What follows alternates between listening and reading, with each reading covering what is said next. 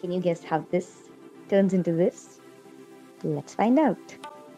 We first collect all these waste plastic bags and wrappers. Then we wash and sanitize them. Sort them into different colors. These are all original colors of the waste. We don't dye them. Then we manually cut each and every plastic bag and wrapper just using a pair of scissors.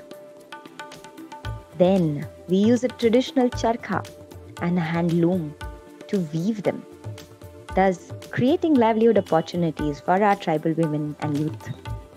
This upcycled hand-woven fabric of charkha is now designed and tailored into beautiful products for all you conscious consumers. Thank you so much for your support, and we look forward to creating an eco social planet.